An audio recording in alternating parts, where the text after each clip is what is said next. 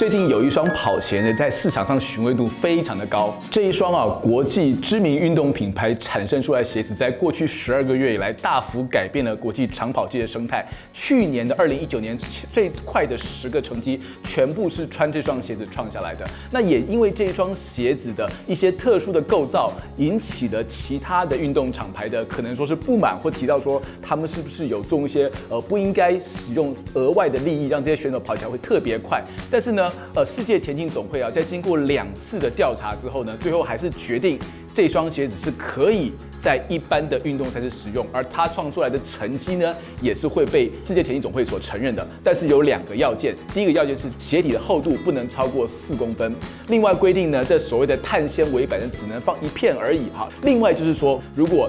田径总会觉得你穿的鞋子有问题的话，随时可以来撤下来叫你检查。以前是只有验血验尿，现在连鞋子也可以验。然后呢，这双鞋子必须要是一般大众都可以买得到的品牌。所以这双鞋子呢，它的确可能可以增加最多百分之四的跑步的效率，但是并不是专属于一般的田径的名将，大家都可以享受这项福利。